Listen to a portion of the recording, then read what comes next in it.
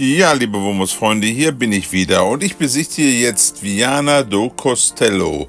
Und es ist ein netter Ort im Norden von Portugal und da habe ich einen kostenlosen Wohnmobilstellplatz entdeckt und den zeige ich euch jetzt hier mal und äh, natürlich auch ein wenig von der Stadt im Anschluss an diese Kurzvorstellung des Platzes.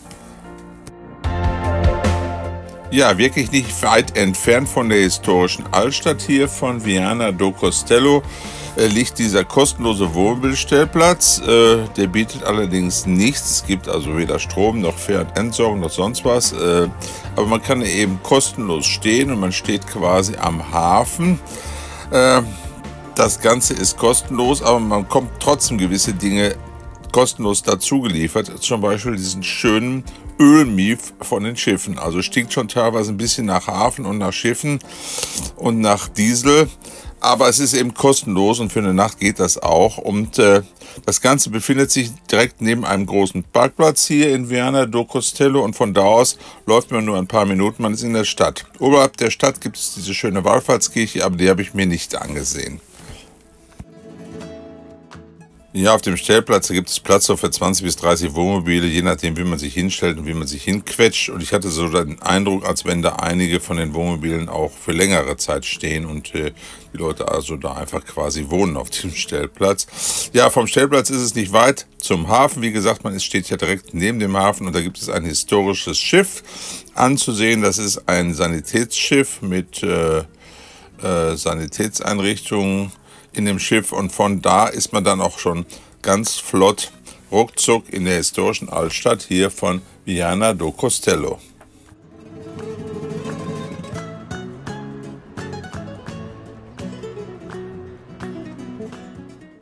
Ja, ich war hier 2010 schon mal und äh, konnte mich an so ein paar Sachen auch noch erinnern. Da war ich noch mit meiner Frau hier und äh, jetzt bin ich nochmal wieder hingefahren und äh, bisschen durch die Stadt gelaufen. Damals, als ich da war mit meiner Frau, da war es bullenheiß. Also meine Frau, die konnte die Hitze gar nicht gut ab.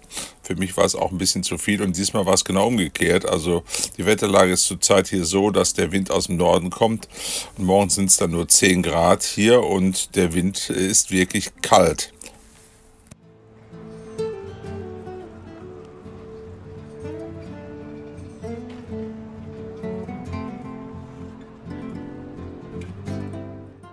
Ja, ich erzähle dir immer gerne ein bisschen was zur Geschichte von den Orten. Also Viana do Castello, das wurde als Viana da Foz also Viana an der Mündung des Lima-Flusses im Jahre 1258 von Alfons III. gegründet.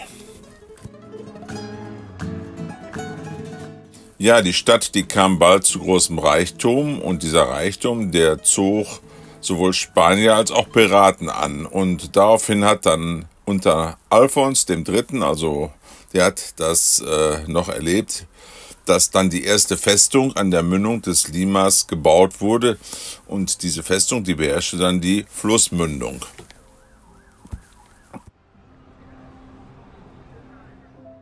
Ja, der Tourismus ist ein wichtiger Wirtschaftsfaktor hier im Ort, aber der Fischereihafen und der Industriehafen sowie eine Werft haben auch große wirtschaftliche Bedeutung für die Stadt und für die Region. Es gibt hier die Firma Westsievienna Shipyard und die baut Schiffe bis zu einer Größe von 37.000 Bruttoregistertonnen.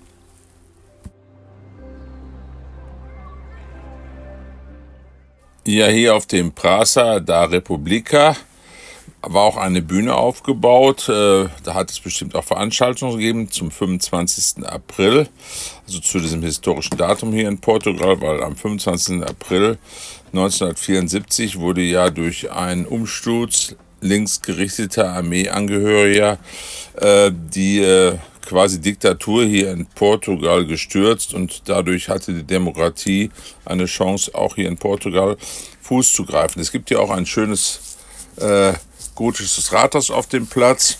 Und um diesen zentralen Platz herum, da befinden sich wirklich sehr schöne historische Gebäude. Und die habe ich mir dann alle auch mal so ein bisschen angesehen.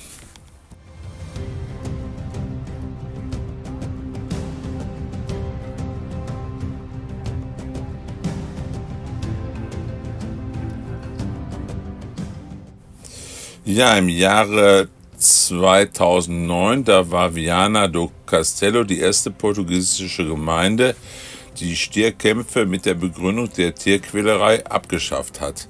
Allerdings war dann am 19. August 2012 in der Stadt Areosa Areosa, genau, ich weiß nicht genau, wie man es auf Portugiesisch ausspricht.